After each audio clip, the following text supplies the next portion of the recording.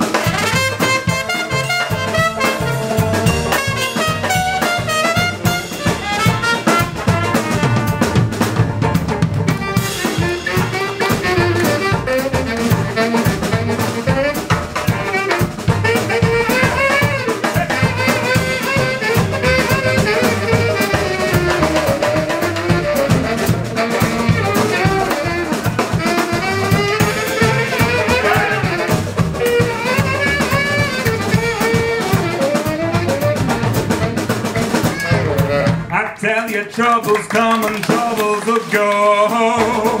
Just take a minute to take care of your soul.